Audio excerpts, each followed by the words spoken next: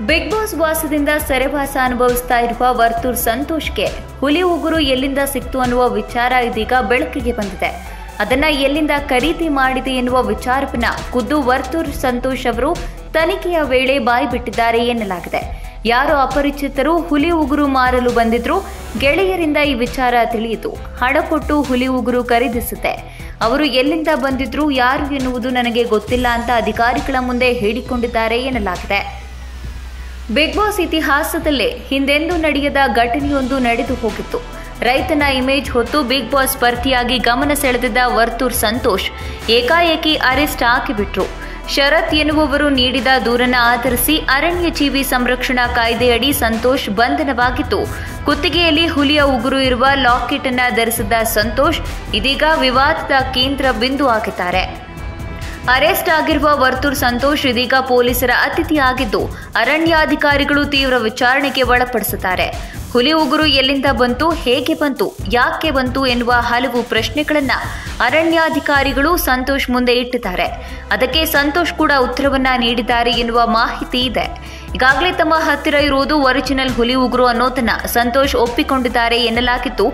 ಅದನ್ನು ಇವರಿಗೆ ಮಾರಿದವರ ಬಗ್ಗೆ ಯಾವುದೇ ಮಾಹಿತಿಯನ್ನ ನೀಡಿಲ್ಲ. ಹಾಗಾಗಿ ವಿಚಾರಣೆ ಮುಂದುವರೆದಿದೆ. ಹುಲಿ ಉಗುರು ಅಸಲಿಯೋ ಅಥವಾ ನಕಲಿಯೋ ಎನ್ನುವುದನ್ನ ಖಚಿತಪಡಿಸಲು ಫಾರೆನ್ಸಿಕ್ ತಜ್ಞರ ಬಳಿ ಉಗುರನ್ನ ಕಳುಹಿಸಿಕೊಡಲಾಗಿದೆ. ಈಗಾಗಲೇ ಇದು ಅಸಲಿ ಹುಲಿಯ ಉಗುರು ಎಂದು ವರ್ತೂರ್ ಸಂತೋಷ್ ಒಪ್ಪಿಕೊಂಡ್ರೂ ಕೂಡ ಇವರಿಗೆ ಮಾರಿರುವ ಉಗುರು ನಕಲಿಯೂ ಆಗಿರಬಹುದು. ತಜ್ಞರ ವರದಿ ಖಚಿತವಾದ ನಂತರ ಸಂತೋಷ್ ಆರೋಪ ಸಾಬೀತಾದರೆ ಮೂರರಿಂದ ಏಳು ವರ್ಷದ ಒಳಗೆ ಶಿಕ್ಷೆ ಆಗುವ ಸಾಧ್ಯತೆ ಇದೆ. ಹತ್ತು ಸಾವಿರರಿಂದ ಇಪ್ಪತ್ತೈದು ಸಾವಿರದವರೆಗೆ ದಂಡ ವಿಧಿಸುವ ಸಾಧ್ಯತೆಯೂ ಕೂಡ ಇದೆ. ಈ ಬಗ್ಗೆ ದೂರು ನೀಡಿರುವ ಶರತ್ ಮಾಧ್ಯಮಗಳ ಜೊತೆ ಮಾತನಾಡಿ, ಎರಡು ದಿನದ ಹಿಂದೆ ನಾನು ಕಂಪ್ಲೇಂಟ್ ಕೊಟ್ಟಿದ್ದೆ, ಹುಲಿ ಉಗುರು ಇರುವ ಪದಕವನ್ನ ಅವರು ಧರಿಸಿದ್ರು ಇದು ವನ್ಯಜೀವಿ ಕಾಯ್ದೆಯ ಪ್ರಕಾರ ತಪ್ಪು, ಸೆಲೆಬ್ರಿಟಿಗಳು ರೂಲ್ಸ್ ಪಾಲನೆ ಮಾಡಬೇಕು. ಈ ರೀತಿ ಹುಲಿ ಉಗುರಿನ ಪದಕ ಧರಿಸುವುದು ತಪ್ಪು. ಅದು ಒರಿಜಿನಲ್ಲೋ ಅಥವಾ ಡೂಪ್ಲಿಕೇಟ್ ಅನ್ನೋದು ಫಾರೆನ್ಸಿಕ್ನವರು ಡಿಸೈಡ್ ಮಾಡಬೇಕು ಎಂದಿದ್ದಾರೆ. ಒಟ್ಟಾರೆ ಈ ಘಟನೆಯ ನಂತರ ಬಿಗ್ ಬಾಸ್ ಕಾರ್ಯಕ್ರಮದ ಟಿಆರ್ಪಿ ಈಗ ಹೆಚ್ಚಾಗುವ ಲಕ್ಷಣಗಳು ಕಾಣ್ತಾ ಇವೆ. ಸದ್ಯ ಶೋನಿಂದ ಆಚೆ ಹೋಗಿರುವ ಸಂತೋಷ್ ಆರೋಪ ಸಾಬೀತಾದ್ರೆ ಮೂರರಿಂದ ಏಳು ವರ್ಷ ಜೈಲು ಶಿಕ್ಷೆ ಹಾಕುವುದು ಕನ್ಫರ್ಮ್ ಆಗಿದೆ. ಒಂದ್ ವೇಳೆ ಸಂತೋಷ್ ನಿರಪರಾಧಿ ಅಂತ ವರದಿ ಬಂದ್ರೆ ಮತ್ತೆ ಬಿಗ್ ಬಾಸ್ ಮನೆಗೆ ಬರುವ ಸಾಧ್ಯತೆಯೂ ಕೂಡ ಇದೆ.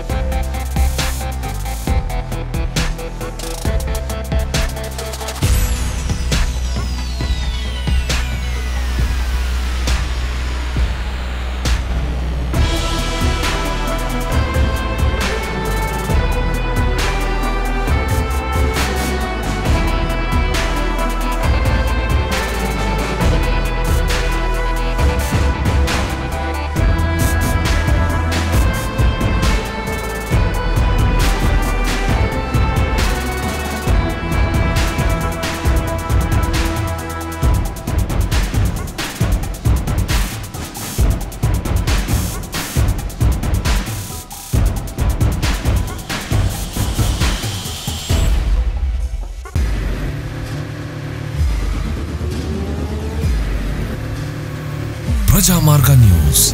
ಇದು ಜನಸಾಮಾನ್ಯರ ಧ್ವನಿ. ನಮಸ್ಕಾರ. ನಮಸ್ಕಾರ. ನೀವು ನೋಡ್ತಾ ಇದ್ದೀರಾ ಪ್ರಜಾಮಾರ್ಗ ನ್ಯೂಸ್. ರಾಷ್ಟ್ರದ ರಾಜ್ಯದ ರಾಜಕೀಯದ ಬಗ್ಗೆ. ಹೆಚ್ಚಿನ ಸಿನಿಮಾ ಅಪ್ಡೇಟ್ಗಳಿಗಾಗಿ ಫಸ್ಟ್ ಲೈಕ್ ಮಾಡಿ ಸಬ್ಸ್ಕ್ರೈಬ್ ಆಗಿ. ಹಾಗೆ ಫಾಲೋ ಕೂಡ ಮಾಡಬೇಕು.